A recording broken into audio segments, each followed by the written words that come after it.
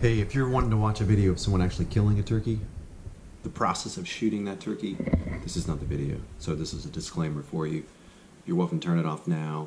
If anyone is interested in the journey of turkey hunting and the ups and downs and the uh, perseverance of turkey hunting, then this is the video for you. I do actually have a second battery. While I was videoing the, the hunt, my battery died um, right in the middle of me filming it. I cannot believe it. Uh, but hey, I'm grateful for the kill, and this video will show me after the fact with the bird explaining this the setup and the hunt. But I believe that it, it was just another one of those things for me this year. Uh, it's been a it was a great, long, difficult, amazing season. Um, but I just want to let you know that if you're wanting to watch me actually shoot the bird, you may want to go ahead and turn it off. Otherwise, please please stay tuned. I'm grateful for you watching, and I'm really grateful for the opportunity to be able to uh, hunt. And this is really a lot of what that is. Uh, one last thing, I'd love to hear any of your stories about your season. Uh, I know for me it was a crazy one. Um, just as much as I hunted this year, I'd love to hear any of your stories, any challenges, any victories, um, any strange things that happened to you this year. I would love to hear it and just to share along. But again, thanks guys for watching. Appreciate you guys sticking around with me.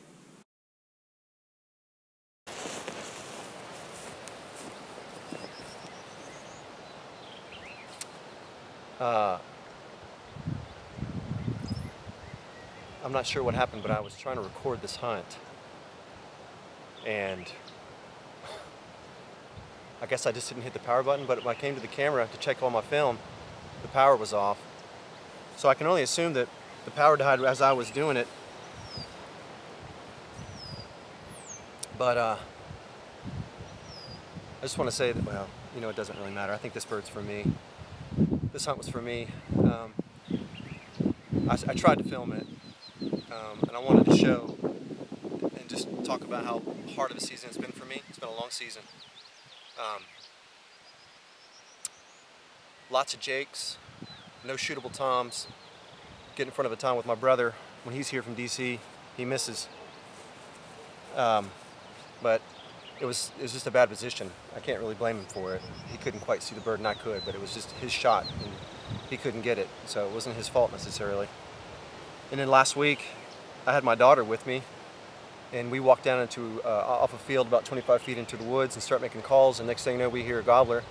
We sit down. She's five years old. She's perfect angel. She sits still. She's quiet. But I'm still worried she's going to spook the bird because she's not fully sure what's going on. Long story short, those birds moved in really fast, and I thought they were two toms. Uh, and I thought I was shooting a strutter in the woods. It was hard to see. I pulled the trigger, killed the bird, and turned out it was a hen. And so I was completely embarrassed. I don't know if any of you people have ever shot a hen before, but I haven't. First time, it was horrible. In front of my daughter, no doubt, like at insult to injury. So I reported myself to the uh, TWRA, which is the game wardens here in Tennessee, and they were very gracious towards me. Um, I did get I did get written a citation, um, but I think it was the right thing to do. And that was like three, four days ago. And um, it's been a long season. I've hunted quite a bit and never gotten a chance. And here I have this bird right here come in, and I couldn't even film it, or I tried to and it didn't work. So it's I, I really feel like this bird was for me and not for everybody. But I want to just at least just give glory to God because it's been a long season of just being, you know, just persevering. And for a lot of you guys, you know, I hear the rule is 9% uh, of the guys kill 10% of the birds and 10% of the guys kill 9% of the birds. And I'm probably in the 9% of the guys. I kill about one tom a year. Um, and it's May 15th. You guys, two days, the season's over. So I, I, really consider this bird a, a gift from God, a blessing. And this is, this is quite a hunt. It's um, 8.30, 5, and um, I set up in this field right here, and there was a couple of jakes down on the bottom, per usual in this field. I'll set up back over here, and around 7.30, 7.45, I've got to get going. I got to get home. And so I, I, decided to check the property out. I've only couple, hunted here a couple times. I go up in the woods, make a few calls, just check the property out don't hear anything. And I come back down into the edge of the, the, the, field here and always glass before I come in. And sure enough, down in the bottom, this bird was sitting in the bottom.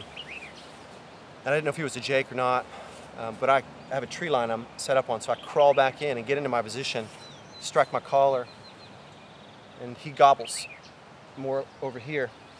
So I get myself in position, and I thought I started filming. I think my battery died. So that's a new battery I've got in now. All that to say is, is that I struck the caller one more time and he gobbled right over here. And so I knew he was coming, so I got set. I've got two decoys over here. And I've always debate on decoys. I don't, sometimes they they work and sometimes they don't. But today it decided to work. This Tom came striding in, all fanned up. He was fanned. I had it on film. I thought it was going to be all on film. And um, he was about 25, 30 yards out, and um, I was able to shoot him and kill him. And uh, he's a nice bird, nice fan. He's got really nice hooks. I'll check these out here. Nice size hooks right here.